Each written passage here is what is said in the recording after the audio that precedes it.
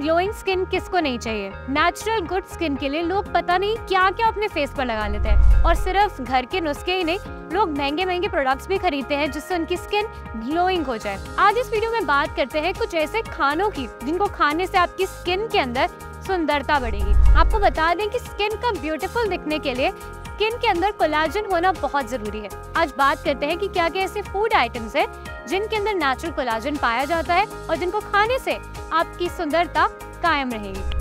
सबसे पहले नंबर पे आती है अश्वगंधा। अश्वगंधा एक जड़ी बूटी है जिसको खाने से आपकी स्किन के अंदर कोलाजन बढ़ता है।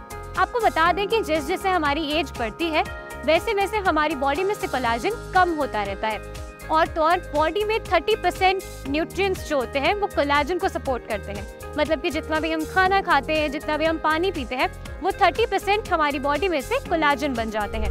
इसीलिए काफ़ी ज़रूरी है कि ना ही सिर्फ़ आप अपने शरीर पर अच्छी अच्छी क्रीम लगाएँ या फेस पैक्स लगाएँ, ज़रूरी है कि आप अच्छा भी ज़रूर खाएँ।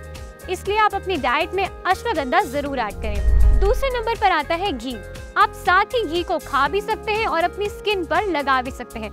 घी के अंदर vitamin A D and E होता है। ये आपकी स्किन के अंदर कोलाजन को बढ़ाता है। साथ ही अगर आप घी को अपनी स्किन पर लगाते हैं तो उससे भी आपकी स्किन मॉइस्चराइज रहती है हाइड्रेटेड दिखती है और ग्लोइंग भी दिखती है।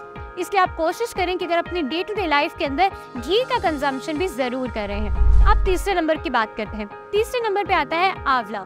आंवला के अंदर विटामिन सी होता है जो आपकी स्किन के लिए बहुत अच्छा है। ये आपकी स्किन के अंदर नेचुरल कोलाजन को बिल्ड करता है और उसको मेंटेन रखता है।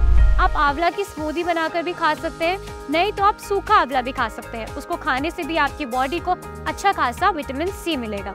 अब बात करते हैं लास्ट ऑप्शन की विच इज़ तुलसी। तुलसी को आप टी में डालकर पी सकते हैं, यानी कि आप उसकी चाय बना सकते हैं। और आपको बता दें कि तुलसी के अंदर एंटी एजिंग प्रॉपर्टीज़ होती है। तो अगर आप तुलसी की चाय पीते हैं तो उससे आपकी एंटी एजिंग होगी, साथ ही आपकी स्किन का कोलाजन बढ़ता रहेगा। तो अब हमें कमेंट सेक्शन में ज़रूर बताइएगा कि इनमें से कौन सी जड़ी बूटी आप खाना पसंद करेंगे।